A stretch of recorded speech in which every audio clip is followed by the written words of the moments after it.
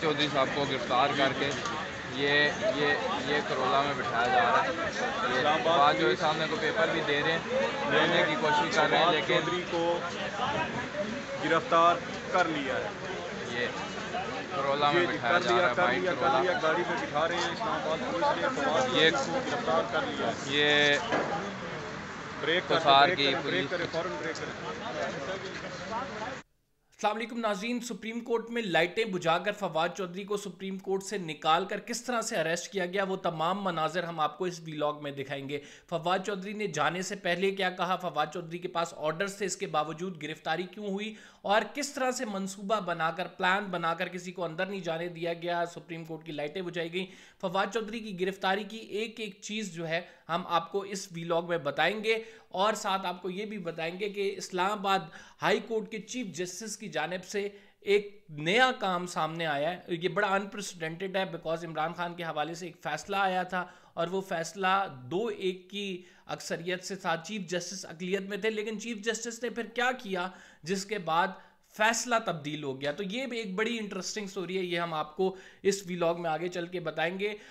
इस्लामाबाद की सड़कों पर इस टाइम फौजी दस्ते जो है वो आपको नज़र आएँगे ज़ीरो पॉइंट पे खसूस लेकिन इसके बावजूद जो है प्रोटेस्ट रुका नहीं है। किस किस जगह पे प्रोटेस्ट हो रहा है और कहाँ कहाँ मारा मारी हो रही है, ये हम आपको इस व्लॉग में बताएँगे। और साथ एक और बड़ी खबर हम आपके साथ शेयर करने जा रहे हैं। क्या इमरान खान साहब को जेल में रख कर इलेक्शन की तरफ़ जाया जाएगा। ये क्या खबर है, ये भी हम आपके साथ डिस्कस करेंगे। अगर चैनल को सब्सक्राइब नहीं किया, सब्सक्राइब ज़रूर करें काइंडली। अपने कमेंट से ज़रूर आगाह करें। सबसे पहले हम डिस्कस करते हैं फवाद चौधरी साहब का मामला। फवाद चौधरी साहब पूरे दिन सुप्रीम कोर्ट ऑफ़ पाकिस्तान में रहे। ज़रा ये फुटेज देखे फवाद चौधरी साहब जब आ रहे थे सुप्रीम कोर्ट से, उन्होंने ऑफ़ द रिकॉर्ड मेरी खुद उनसे बातचीत हुई बड़ी बातें की हैं। प्रेस रूम में आके बैठ गए, फिर बार रूम में बैठे रहे। फिर वो उन्होंने कोशिश की कि किसी भी तरह से चीफ जस्टिस उस मामले का नोटिस ले लें या फिर चीफ जस्टिस उनकी दरख्वास्त सुन लें। फैसल चौधरी साहब खसूसी तौर पर चीफ जस्टिस के चैम्बर में उन्होंने अप्रोच किया, लेकिन चीफ जस्टिस ने उनकी सुनी नहीं। हालाँकि चीफ जस्टिस मौजूद थे और उसके बाद फिर चीफ जस्टिस चले गए। दो जजेस बताए जाते हैं सुप्रीम कोर्ट में जो मौजूद थे। एक जस्टिस इजाजुल एहसन एक चीफ जस्टिस ऑफ़ पाकिस्तान लेकिन चीफ जस्टिस ने कोई भी, किसी भी दरख्वास्त पर जो इमरान खान साहब की जानब से जमा कराई गई थी कि उनकी जो अरेस्ट है, उसको कानूनी करार दिया गया है, उसको गैर कानूनी करार दिया जाए, वो दरख्वास्त लगाई जाए, इमरान खान को रिहाई दी जाए, वो भी दरख्वास्त को सिर्फ़ नंबर अलाट हो गया फिक्स नहीं की।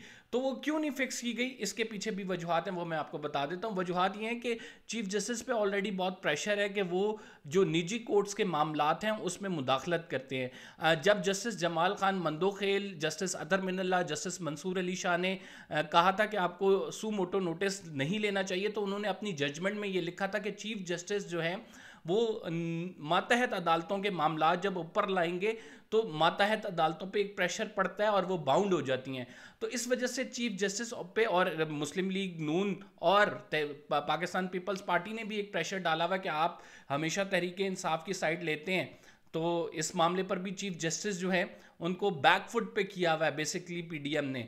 और यही वजह है कि एक कानूनी नुक्ता है। कानूनी नुक्ता ये है कि क्या हाई कोर्ट में जिस तरह से इमरान खान साहब की गिरफ्तारी हुई है, इस तरह गिरफ्तारी मुमकिन थी? क्या कोई ऐसा प्रेसिडेंट मौजूद है? ऐसा प्रेसिडेंट बिल्कुल नहीं है। तो इस कानूनी नुक्ते पर सुप्रीम कोर्ट फैसला दे सकती है, बिल्कुल दे सकती है, लेकिन क्यों नहीं दे रही? ये बहुत बड़ा सवाल है। दे इस वजह से नहीं रही जो मैंने आपको वजूहत बताई है। अब क्या इस दरखास्त को नंबर तो अलॉट हो गया, ये दरखास्त लगेगी या नहीं? ये आगे जाके फैसला होगा, लेकिन मैं आपको ये बता रहा हूँ अगेन वंस अगेन कि इमरान खान साहब को इतनी जल्दी ये छोड़ने नहीं लगे। और चीफ जस्टिस बड़ा मुश्किल है कि चीफ जस्टिस कोई बड़ा रिलीफ दें इमरान खान साहब को। Right now in this situation आगे चल के हो सकता है कि दरख्वास्त लगा के रिलीफ दे दें, लेकिन अभी फ़िलहाल कुछ नहीं होने वाला। आठ दिन तक का रिमांड मांगा गया है। अब मैं आपको ये बताता हूँ कि फवाद चौधरी साहब की जो कोशिशें हैं वो तमाम रायगा चली गई तो क्या हुआ? आ, वहाँ पे बड़ी इंटरेस्टिंग स्टोरी हुई। स्टोरी क्या हुई कि पुलिस ने कर दी जी लाइटें बंद और फिर सुप्रीम कोर्ट के दरवाज़ों को भी बंद कर दिया गया। सिर्फ़ एक प्रेस रूम का दरवाज़ा खुला था फवाद चौधरी साहब थे और सहाफ़ी थे। हम खूब घुल आप ये कैसे घुल घुल मिल के उनसे गप्पें लगाई खुश गप्पियाँ हुई आ, कुछ सहाफ़ियों ने शेयर की स्टोरीज़ उन्होंने शेयर की जब वो काबीना में थे। बड़ी इंटरेस्टिंग स्टोरीज़ भी अल कादिर ट्रस्ट डिस्कस होता रहा। आ, लेकिन फिर उसके बाद आखिर साढ़े ग्यारह हो गए थे सहाफ़ियों को भी जाना था और फवाद चौधरी साहब ने भी कोई डिसीज़न लेना था। वो को, कोशिश कर रहे थे इस्लामाबाद हाई कोर्ट से उनको रिलीफ मिल जाए लेकिन हाई कोर्ट में भी उनकी पटिशन नहीं लगाई गई। तो फवाद चौधरी साहब ने बिल आखिर गिरफ्तारी का फैसला किया। आखिरी दफ़ा उन्होंने मीडिया टॉक की, जिसमें उन्होंने इदारों के हवाले से एक बात की और उन्होंने कहा कि ये जो सरकारी इमलाक को नुकसान पहुँचाया जा रहा है, इसके पीछे हम नहीं हैं। हम चाहते हैं अफाम तफीम से मामला आगे बढ़ें। लेकिन आपको ये सोचना होगा लाइन्स ड्रॉ करनी होंगी। और उन्होंने जब ये बात की उसके बाद कहा मैं गिरफ्तारी देने जा रहा हूँ। और फिर गिरफ्तारी की फुटेज आपने मुलायजा की जो हमने पहले भी चलाई थी अभी भी आपको दिखा देते कि किस तरह से फवाद चौधरी साहब को गिरफ़्तार किया गया बत्तियाँ गुल करके उनको बाहर बुलाया गया। बाहर जब वो आए तो अशफाक जो पाराथैनों के एस एच ओ हैं और फिर खालिद अवान साहब जो डी एस पी हैं उन्होंने आ, उनको जो है गाड़ी में डाला और उसके बाद वो अब पारा थाने फवाद चौधरी साहब को ले गए। मैं आपको बताता हूँ, जस्टिस आमिर फारूक ने क्या किया। जस्टिस आमिर फारूक, जो चीफ जस्टिस हैं इस्लामाबाद हाई कोर्ट के उन्होंने, उनकी अदालत का एक फ़ैसला टेरिन वाइट पे जो था वो अदालत से जारी हुआ। दो जजेस की जानब से, जिसमें जस्टिस अरबाब और जस्टिस मोहसिन अख्तर क्यानी है, उन्होंने ये फैसला किया कि टेरियन वाइट में इमरान खान साहब को ना अहल नहीं किया जा सकता। जो दरख्वास्त देने वाला नामालूम शख्स है, उसकी दरख्वास्त मुस्तरद कर दी गई। लेकिन चीफ जस्टिस ऑफ़ पाकिस्तान ने जैसे ही ये फैसला वेबसाइट पर जारी हुआ, ये फैसला वेबसाइट से उतारने का हुक्म दे दिया। और साथ हुक्म दिया कि ये बेंच डिसमिस हो गया है। इसका फैसला इमरान खान के हक में तो आया नहीं है। और वो लोग जिन्होंने इसको पब्लिश कर दिया था आ, उनके खिलाफ कार्रवाई का भी इंदिया दे दिया। अब होता क्या है?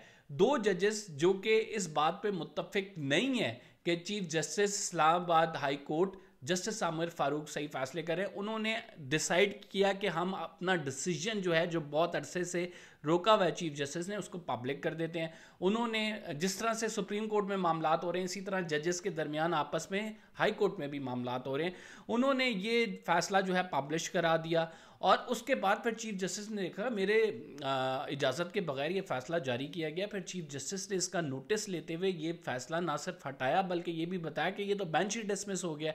अब बेंच कैसे डिसमिस हो गया? कोई भी चीफ जस्टिस जब अकलीत में चला जाता है, उसका फैसला उस, उसकी राय जो है, वो अकलीत में चली जाती है, वो वैसे ही इनसिक्योर हो जाता है। चीफ जस्टिस आमिर फारूक जो हैं, वो अकलीत में चले गए। दो जजेस जस्टिस मोहसिन अख्तर जस्टिस अरबाब ने कहा कि ये नहीं सुनी जा सकती चीफ जस्टिस कह रहे थे, सुनी जा सकती है। आपको पता है कि कहाँ से ये मामला आया कि सुनी जा सकती है और नहीं सुनी जा सकती, ये आप लोग मेरे से बेहतर जान सकते हैं कि कौन ये चाहता है कि ये दरख्वास्त सुनी जाए, इमरान खान ना ना अहल हो और कौन ये चाहता है कि नहीं हो। खैर जो है चीफ जस्टिस ने फिर ये तमाम मामला किया, जिसके बाद ये अनप्रेसिडेंटेड चीज़ है एक इस्लामाबाद हाई कोर्ट के हवाले से जिस तरह से जजेस में डिवीज़न सामने आई है। आ, दो जजेस ने अपनी राय का इजहार किया जजमेंट जारी कर दी चीफ जस्टिस ने उतार के वो जजमेंट ही वेबसाइट से हटा दी उन लोगों के खिलाफ कार्रवाई का हुक्म दे दिया और कहा कि ये तो बेंच ही डिसमिस हो गया था ये तो बेंच ही टूट गया था तो ये ये फैसला नहीं है। आपको अगली बात बताते हैं अगला बड़ा इंपॉर्टेंट केस है। और वो जो है, आपको पता है कि जो मारा मारी तोड़ फोड़ हो रही है, वो किस किस जगह पे हो रही है? बहुत सारे लोग जानना चाह रहे हैं। देखें, इस्लामाबाद में मुतद जगहें जहाँ पे ये राइट नाउ तोड़ फोड़ जारी है, इस्लामाबाद में जी इलेवन का थाना रमना जो है, उसको जलाया गया है। अभी भी इस टाइम, जिस टाइम मैं ये वीलॉग बना रहा हूँ, रात के तकरीबन साढ़े बारह हो रहे हैं, और इस टाइम जो पुलिस लाइन के करीब तहरीक इंसाफ के कारकुनान मौजूद हैं, और वहाँ पर शेलिंग का सिलसिला जारी है। इसके अलावा फैज़ाबाद वाली पट्टी पर भी एक जगह शेलिंग हो रही है। कारकुनान मौजूद हैं। लाहौर में खड़े हुए कंटेनर्स को, जिसमें कॉटन का सामान था, जिसमें कपड़े थे, उनको आग लगा दी गई। तकरीबन अभी बताया जा रहा है कि 10-12 कंटेनर्स जल चुके हैं। राइट नो हालात संभले नहीं हैं। इमरान खान साहब की गिरफ्तारी के बाद से हालात मज़ीद जो है वो बिगड़ते जा रहे हैं। इन तमाम हालात में एक चीज़ जो सामने आ रही है एक तो तहरीक मैंने आपको पहले खबर दी कि तहरीक इंसाफ को कल अदम जमात करार देने के हवाले से भी आ, कुछ लोग हैं जो इस पर सोच रहे हैं और काम भी हो रहा है। दूसरी इंपॉर्टेंट चीज़ ज़मनी इंतबात कराए जाएँगे। इमरान खान साहब जेल में होंगे और ज़मनी इंतबात से टेस्ट किया जाएगा। कि क्या होने जा रहा है और पब्लिक पल्स क्या है और किस तरह से रिएक्ट करती है, किस तरह से बिहेव करती है, ताकि आम इंतबात में जाने से पहले एक टेस्टिंग हो जाए। और वो टेस्टिंग बड़ी ही नुमाया होगी राइट नाउ बिकॉज़ इस टाइम इमरान खान साहब गिरफ़्तार है सेकेंड ईयरशिप गिरफ़्तार है और इस टाइम खुला मौका है पीडीएम के पास कि वो जो दिल चाहे करे। और जिस तरह मर्ज़ी चाहे वो इलेक्शन कराए, उसमें धानली कर सकती है, उसमें सौ मामला होते हैं इलेक्शन में, आपको पता है। तो ज़मनी इंतबात जो हैं, वो इमरान खान की गिरफ्तारी के दौरान ये एक तीन चार हलकों में टेस्ट करेंगे, देखते हैं वो कब होता है। बहरहाल हमें ये उड़ती उड़ती खबर मिली, हमने आपके साथ शेयर कर ली। मामला कुछ साजगार नहीं है। अल्लाह पाकिस्तान पर रहम करे, इस्लामाबाद की सड़कों पर जब फ़ौज नज़र आ जाए तो वैसे ही बंदा जो इस्लामाबाद में रहता होता है, मुझ जैसा बंदा वो घबरा जाता है कि यार ये किस तरफ़ मामला जा रहे हैं। पाँच रुपये आज डॉलर बढ़ गया सोने की कीमत जो है दो लाख क्रॉस कर गई है। तो ये अनप्रेसिडेंटेड चीज़ें हैं जो कि हो रही हैं। अल्लाह पाकिस्तान पर रहम करे। ब्लूम बग्स की रिपोर्ट के मुताबिक अगर ये हालात चलते रहे तो पाकिस्तान डिफ़ॉल्ट कर जाएगा। लिहाजा आप तमाम लोग भी जो है, अल्लाह करे, आप लोग अपनी एक तो हिफाजत को यकीनी बनाएँ और दूसरा मुल्क के लिए ज़रूर दुआ करें। कबर जदी को इजाज़त दीजिए। अपना फीडबैक ज़रूर दीजिएगा। अल्लाह हाफ़